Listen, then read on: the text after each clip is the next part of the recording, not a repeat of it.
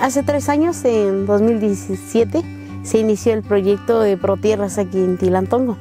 Y primeramente nos integramos como comité de gestión. Y de allí el programa nos invitó a integrarnos ya como las comunidades participantes y de hecho estamos 12 comunidades.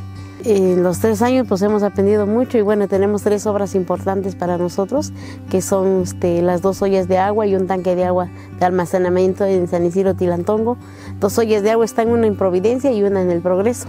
Y bueno, la importancia de esos trabajos pues es en primer lugar es para retención de nuestros suelos, que ya muy poquito suelo tenemos.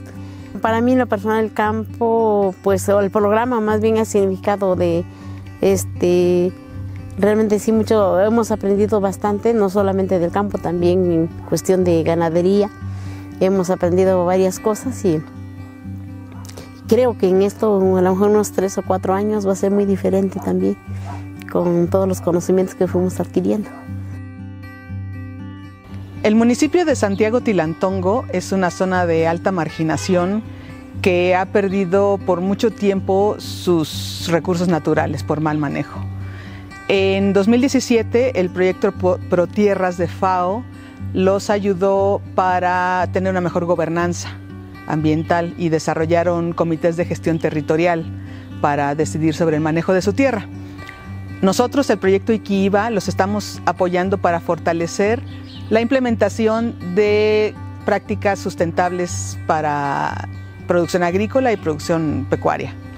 Los estamos apoyando para tener milpa eh, con, intercalada con árboles frutales eh, en zonas de laderas y para infraestructura de recuperación de suelos y recuperación de agua.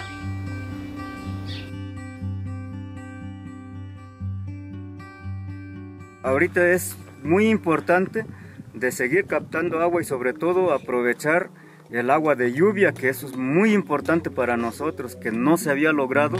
Sin embargo, ahora con este proyecto yo creo que hemos tomado más conciencia de, poder, de que sí se puede captar el agua de lluvia y que es para un gran beneficio para la comunidad.